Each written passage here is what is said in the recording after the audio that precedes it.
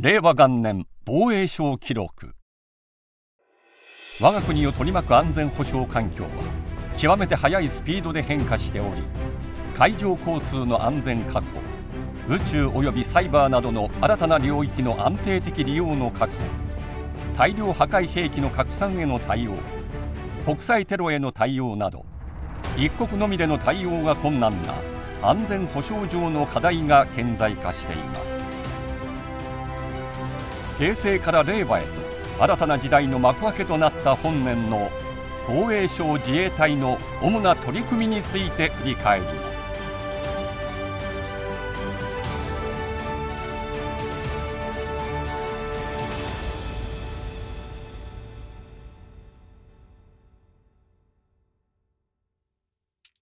自衛隊は各種事態に迅速かつシームレスに対応するため平素から領海領空とその周辺の海空域において情報収集警戒監視を行っています。6月空母遼寧を含む中国海軍艦艇6隻が沖縄本島宮古島間を通過し太平洋に進出したことを確認しました。このような中国海軍艦艇による南西諸島の海域の通過を伴う活動を本年は14回確認しています。また北朝鮮船籍タンカーと外国船籍タンカーなどが東シナ海の公海上で接現している様子を12月末までに23回確認しました。政府として総合的に判断した結果国連安保理決議で禁止されている背取りを実施していたことが強く疑われたため我が国として国連安保理制裁委員会などへの通報を行いました。自衛隊は国際法及び自衛隊法に従い厳正な対領空侵犯措置を実施しています。3月中国の Y9 哨戒機の我が国の防空識別圏内での飛行を初めて確認しました。6月ロシアの爆撃機2機が。沖縄県南大東島の領空を侵犯しさらにそのうちの1機が東京都八丈島の領空も侵犯する事案が生起しました。7月には中国ロシアの爆撃機が合同して長距離飛行を実施するなど自衛隊が対応しなければならない状況は一層の複雑さを増しています。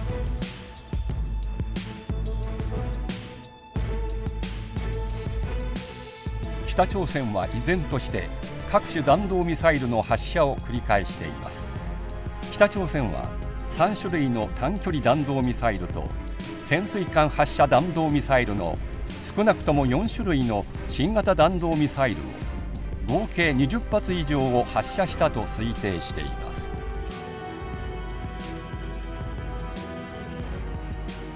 我が国はこれらの活動に対し弾道ミサイル攻撃などへの対応に万全を期すための体制整備を進めています。7月イージス艦羽黒が浸水しました。先に浸水したイージス艦マヤと合わせ令和2年度には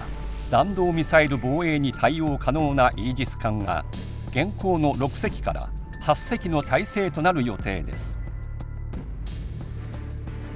パック3の機動展開訓練を全国的に実施しており平成29年6月から本年12月末までの間一般の施設や在日米軍施設に展開したものを含め24回の訓練を実施しました。平素から宇宙サイバー電磁波の領域において常時継続的な監視を実施し自衛隊の活動への妨害を未然に防止します。妨害の発生時には速やかに事象を特定し被害の極限被害復旧などを迅速に行います。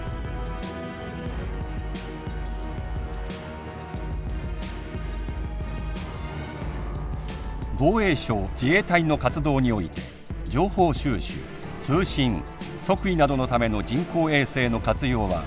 領域横断作戦の実現にとって不可欠です。一方宇宙空間の安定的利用に対する脅威は増大しています。防衛省はこれまでの取り組みに加え宇宙空間の安定的利用を確保するための宇宙状況監視体制の構築。宇宙領域を活用した情報収集。通信。即位などの各種能力の向上。電磁波領域と連携して相手方の指揮統制。情報通信を妨げる能力を含め。刑事から有事までのあらゆる段階において宇宙利用の優位を確保するための能力の強化に取り組んでいきます。また JAXA などの国内関係機関や米国と連携しつつ宇宙を監視し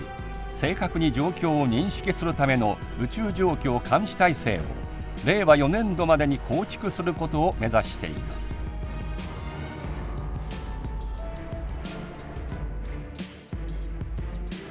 これらの体制構築に向け9月には米軍の主催する宇宙状況監視多国間机上演習グローバルセンチネル演習2019に参加しました。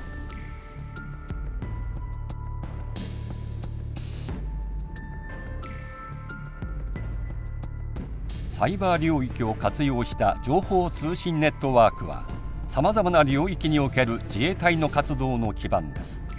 サイバー領域に対する攻撃は自衛隊の組織的な活動に重大な障害を生じさせるものです。防衛省はこれまでの取り組みに加えサイバーセキュリティ確保のための体制整備最新のリスク対応策及び技術動向の把握人材の育成確保を行うとともに政府全体への取り組みへも寄与することとしています。サイバー領域の利用に係る国際協力としては3月より防衛省から NATO サイバー防衛協力センターへ職員を派遣し NATO とのサイバー分野での協力関係を発展させています。今後は令和5年度までに現在の自衛隊指揮システム通信隊の体制を見直し共同の部隊としてサイバー防衛部隊を新編することとしています。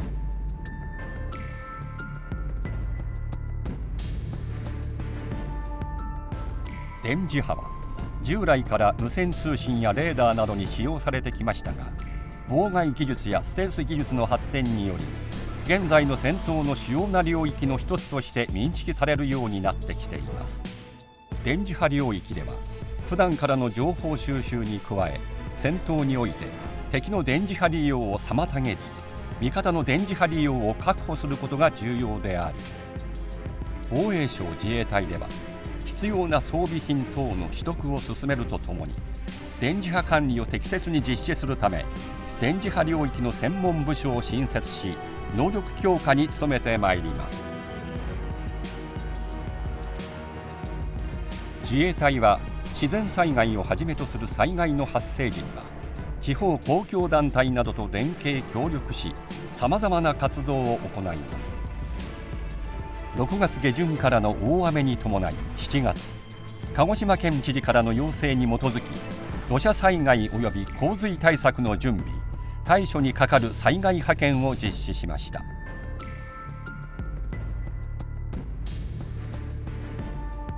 約300名の隊員が警察消防と連携しながら現地で河川の監視情報収集のほか行方不明者捜索給水支援道路警戒などの活動を実施しました。8月の前線による大雨に伴い佐賀県知事からの要請に基づき情報収集人命救助及び生活支援などに係る災害派遣を実施しました。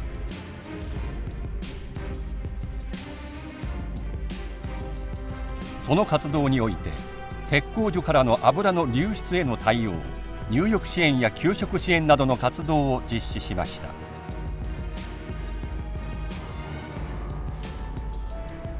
9月には台風第15号に伴う災害派遣を実施しました。千葉県神奈川県において給水支援入浴支援停電復旧作業のための倒木土砂の除去支援ブルーシートの輸送転調支援などを実施しました。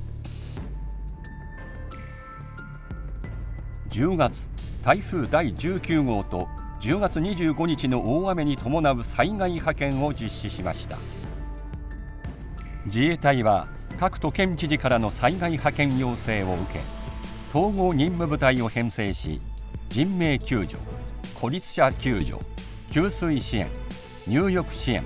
物資輸送水防活動道路警戒などを実施しました。本災害派遣では即応予備自衛官のほか東日本大震災以来8年ぶりに予備自衛官が招集され合わせて約410名が給水支援入浴支援物資輸送支援災害廃棄物処理などを実施しました。日米安全保障条約に基づく日米安保体制は我が国自身の防衛体制と相まって我が国の安全保障の基軸です。また日米安保体制を中核とする日米同盟は我が国のみならずインド太平洋地域さらには国際社会の平和と安定及び繁栄に大きな役割を果たしています。4月米国ワシントン DC において日米安全保障協議委員会2プラス2が開催され日米両国は自由で開かれたインド太平洋の実現に取り組むことで一致するなど今後とも日米間で緊密に連携して日米同盟強化に取り組むことが確認されました5月日米両首脳が海上自衛隊横須賀地区に停泊中の護衛艦加賀を訪問しました両国首脳が揃って自衛隊米軍を激励するのは史上初です。また5月から6月にかけて米国アラスカ州においてレッドフラッグアラスカ演習に参加しました。本年の訓練には初めて航空自衛隊 F2 戦闘機が参加し日米共同対処能力の向上を図りました。6月にはインド太平洋方面派遣訓練の一環として海事護衛艦出雲と米空母ロナルド・レーガンなどが南シナ海において日米共同訓練を実施しました。6月から8月には良好な訓練基盤を有するオーストラリアにおいて米軍との実動訓練タリスマン・セイバー19を実施し水陸両用作戦にかかる一連の行動を訓練しました。また今回の訓練には初めて陸上自衛隊だけでなく海上自衛隊の隊員及び艦艇も参加しました。これらの共同訓練などの取り組みを通じ日米同盟の抑止力対処力を一層強化していくことは地域の安定化に向けた日米両国の意思と能力を示すものです。安全保障分野での協力交流を推進するためには地域の特性相手国の実情や我が国との関係なども踏まえつつ最適な手段を組み合わせた2国間での防衛協力交流が重要となります。9月から10月にはオーストラリア空軍との間で国内においては初となる共同訓練武士道ガーディアン19を実施。日豪戦闘機部隊の戦術技量の向上及び相互理解の促進並びに防衛協力の進化を図りました。このほか米国を加え日米豪3カ国での共同訓練も実施しています。陸上自衛隊は5月オーストラリアにおける米豪軍との実動訓練サザンジャッカルー19に参加しました。インドとは9月に海上自衛隊が日米印共同訓練マラバール2019を実施し23回目となる今回初めて日本がホスト国となりました。10月には陸上自衛隊がテロ分野におけるインド陸軍との共同訓練ダルマガーディアン19を航空自衛隊が航空輸送分野におけるインド空軍との共同訓練親友マイトリ19を実施しました。これらの訓練は自衛隊の任務遂行能力の向上を図るとともに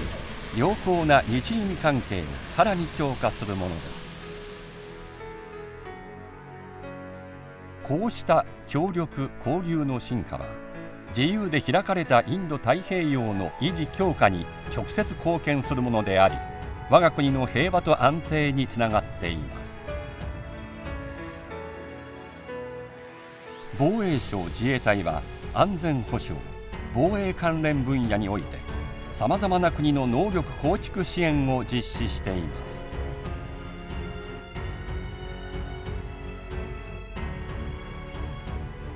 本年における新たな取り組みとして5月マレーシアに対する人道支援災害救援分野の能力構築支援事業として初めて陸海自衛隊が連携し大規模災害時の災害対処能力の紹介などを通じてマレーシア軍との相互理解信頼関係の促進を図りました。10月にはラオスに対する能力構築支援事業としてラオス人民軍の指揮官要員を初めて我が国に招聘し訓練計画作成に係る指導教育を実施しました。この訓練計画に基づき11月にはラオスにおいて災害発生時の捜索救助応急処置に係る実技指導教育を実施しました。またスリランカに対しては10月に能力構築支援事業としてスリランカ空軍士官を空自那覇基地に招聘し救難機に搭乗しての洋上における捜索救難訓練の展示を行いました。このように新たな取り組みを加え自衛隊がこれまで蓄積してきた知見を有効に活用し能力構築支援を行うことは我が国と相手国との友好関係を強化するだけでなく相手国軍などが国際の平和及び地域の安定のための役割を適切に果たすことを促進し我が国にとって望ましい安全保障環境を創出することに寄与しています。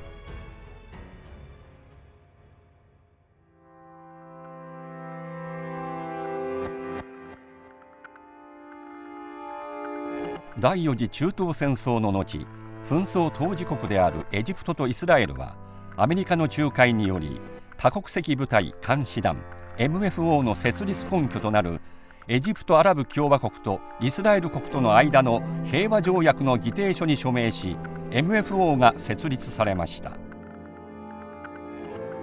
MFO に対するこれまでの貢献が高く評価され我が国は MFO から要員の派遣について要請を受けました。我が国としても世界の平和と安定のため一層の責務を果たしていくため国際平和のための努力に対し人的な協力を積極的に行うこととしました。このため4月に市内半島国際平和協力業務の実施について閣議決定し初めての国際連携平和安全活動として要員2名が MFO 司令部業務を実施しています。本年11月には派遣継続の意義を踏まえ閣議決定を経て派遣期間の1年の延長が決定されました。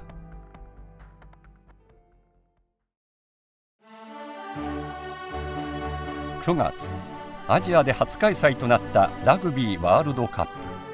開会式直前のセレモニーでは航空自衛隊のアクロバットチームブルーインパルスの展示飛行と航空中央音楽隊の音楽演奏を行いました。即位礼正殿の儀では陸上自衛隊の第一特化隊が総理大臣の万歳三唱に合わせ21発の礼砲で天皇陛下に対する祝意を表しました。天皇陛下の即位を祝うパレードである祝賀御列の儀に際して自衛隊からは儀仗虎列総額の部隊が参加しました。